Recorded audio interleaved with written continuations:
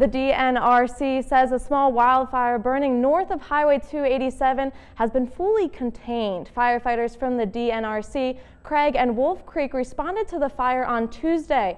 DNRC says the fire was sparked by a lightning strike and burned nine acres in total. Some firefighters remained on scene Wednesday for mop-up operations.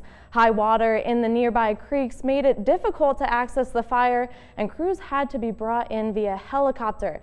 DNRC says that public vigilance is reporting fires is key to making sure crews have the chance to combat them early. They should always call in and report smoke that they're seeing in a strange place especially. Uh, hopefully if someone is doing some burning, they've activated burn permit and we can easily tell that no, that's a controlled fire and we don't need to worry about it. But having the public notify us of any smoke they see is very key.